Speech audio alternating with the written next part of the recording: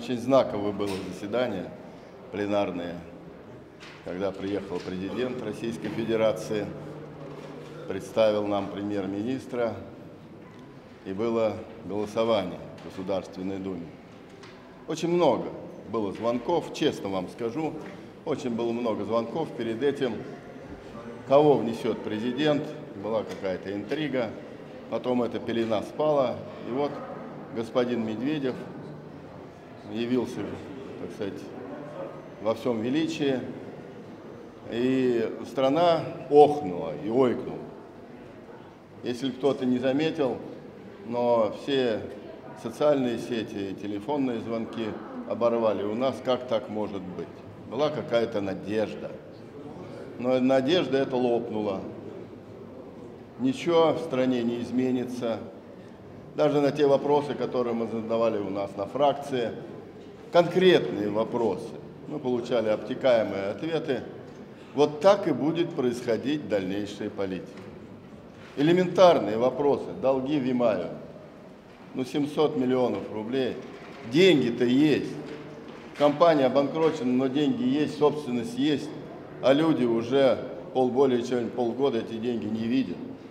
Мыкаются, выходят на улицы. Застарелый вопрос зарплаты по шахтерам, он согласился. Вот я ему задавал вопрос, он согласился. Да, есть этот вопрос, его надо решать. Но он понимает, что он глобальный такой, вот он большой такой, вопрос никак не решишь. Ну, 320 миллионов выбили, вытрясли просто, как, значит, это самое, грушу. А 340 миллионов еще не, не, не выплатишь шахтерам. Третий год без зарплаты люди. И опять премьер-министры. Мы говорим, ну дольщики обманутые, то же самое. 500 тысяч жителей обманутые, по 15 лет уже квартиру оплаченную, 100% оплачены. Нет. Огромный вопрос, с регионами надо решать. Так если ты не умеешь работать с регионами, если ты не умеешь решать элементарные вопросы, элементарные, это же не глобальный, как преодолеть кризис в Российской Федерации.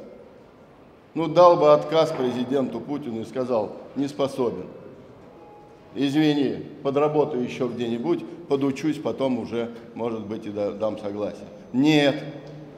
И еще на смех курам, на смех всей стране предлагает господину Мутко, сам смеется, но предлагает господину Мутко, так сказать, в заместителе, чтобы строительный комплекс, строительную отрасль нашу э, курировал разварил туризм, спорт, так сказать, олимпийские, подготовка к Олимпиаде, только потому, что он в Питере вместе с Путиным работал э, э, у Собчака, вот давай его в заместитель. Теперь спокойно можно быть за физкультуру и спорт. А вот за строительный комплекс нам придется волноваться. Если его, э, значит, предложит Медведев. А, наверное, предложит, он же высказался. Даже смех его не останавливает. Такая кадровая политика, она приведет только к усугублению ситуации и углублению кризиса, и в экономике в том числе, в первую очередь. Поэтому наша фракция категорически голосовала против господина Медведева и тем более против, будет голосовать против такого назначения, как господин э, Муткон э, в качестве его заместителя. Ничего хорошего от этой команды ждать нам с вами и стране, на наш взгляд, не приходится позвольте еще раз поздравить вас с Днем Победы. Великий праздник, великий подвиг нашего народа навсегда останется в веках. Но нужно понимать, что сегодня и наша победа, и наша страна в целом отчаянно нуждается в нашей защите. И извне, и изнутри идут нападки, попытки переписать историю. Мы видим, что уже на Западе раздаются голоса о том, что надо пересмотреть роль Советского Союза в той войне, фактически пытаются приравнять его к нацистской Германии, разделить ответственность за развязывание той войны, а изнутри предпринимаются попытки вымороть нашу святую советскую символику. Пожалуйста, хороший, правильный, полезный проект «Бессмертный полк». Мы его поддерживаем. Но его символика, увы, сейчас это орден Красной Звезды, почему-то в котором убран советский боец, убрана надпись «СССР», убран серпомолот, заменены Георгием Победоносцем. На наш взгляд, это неприемлемо. Так поступать нельзя. Если ты хочешь быть патриотом, то нужно быть последовательным человеком и уважать историю своей страны, а не пытаться менять одни символы на другие.